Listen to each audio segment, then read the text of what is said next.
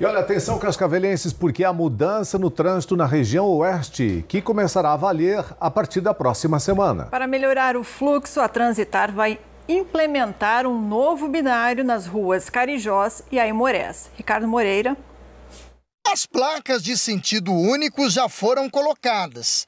Ainda estão cobertas por um plástico até a liberação oficial. A Rua Carijós será sentido a Avenida Tancredo Neves e Tito Mufato. A Aimorés, no sentido contrário. Moradores dos bairros Santo Onofre e Santa Cruz serão diretamente impactados com a mudança.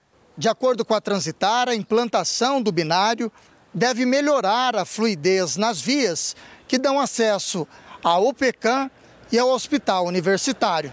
Na próxima semana, o trabalho de bloqueio será executado temporariamente com a supervisão de agentes da autarquia.